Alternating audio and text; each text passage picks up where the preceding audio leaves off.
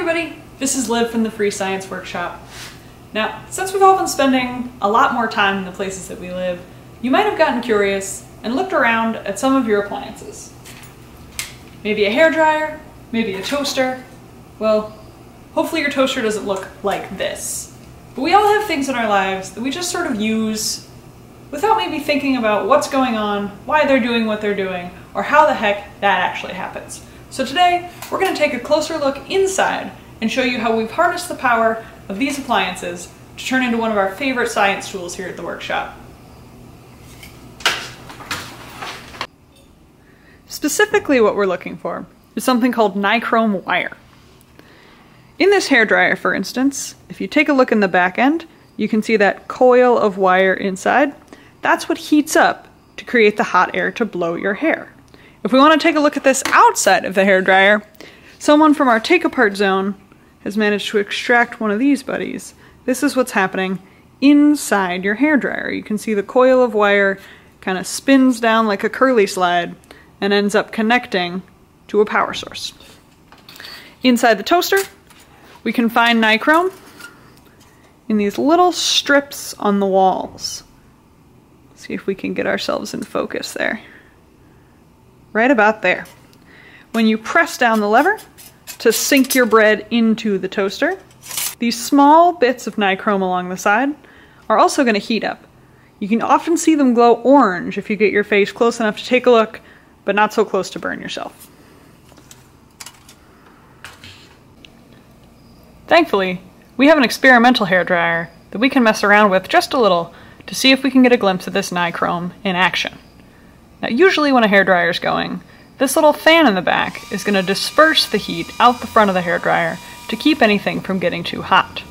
However, if we block that airflow, and there's no way to disperse the heat, you'll be able to see the nichrome glow orange red hot as that electricity passes through it. Now this is definitely not something you should be trying at home. That's one of the reasons we have a free science workshop. The wire is called nichrome because it's made up of a mix of nickel and chromium, which ends up being super, super resistive. So we've got a spool of it here.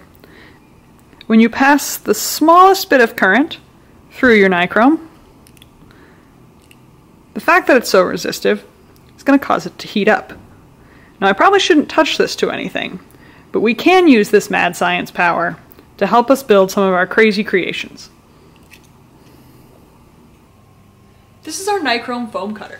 And if you take a closer look, you might be able to recognize some pieces we've salvaged from other projects.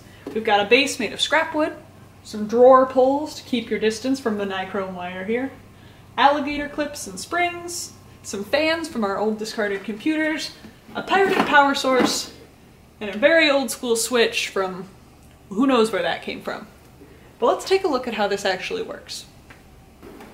We can tell the power is on now because the fans are running, which also means that electrical current is passing through the nichrome wire, and because of its resistive properties, is now incredibly hot.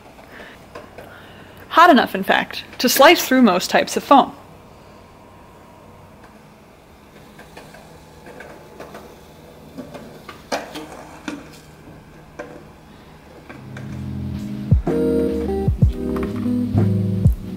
This is a fairly new tool of the workshop, but it's already seen some pretty incredible projects take shape.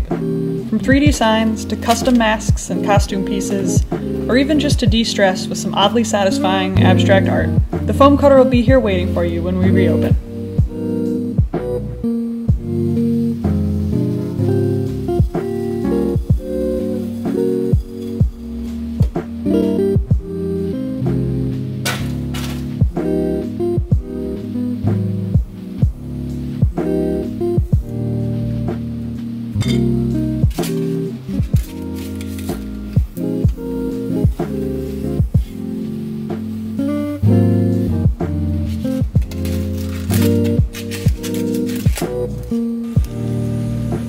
What kinds of projects can you think of that use this tool?